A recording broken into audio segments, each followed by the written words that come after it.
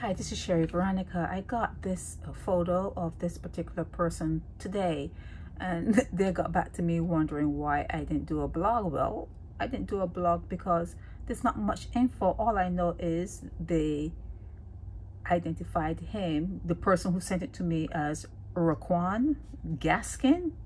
And they said that he was in bed and, you know, they didn't see him. He was like quiet for a moment, for a minute and they went to check on him and he was dead.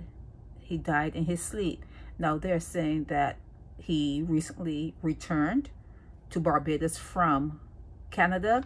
He went by the name Rat Rat, R-A-T, R-A-T, Rat Rat, and he lived in Pile Bay, wherever Pile Bay is. This is just something that people sent me and they they're saying that a lot of kind of youngish, kind of, you know, youngish. He's not old by any stretch. You can see him.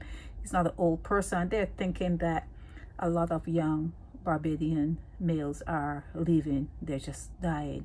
And they said he got really thin and um, he died in his sleep. Now, that's all the information I have on him. The person who sent it to me and just called me to put it up says his name is Raquan Gaskin okay? And I get it and I put it up okay? That's what I do. I get these blogs and I put it up. It's important to that person that I put it up okay? This is Sheri Veronica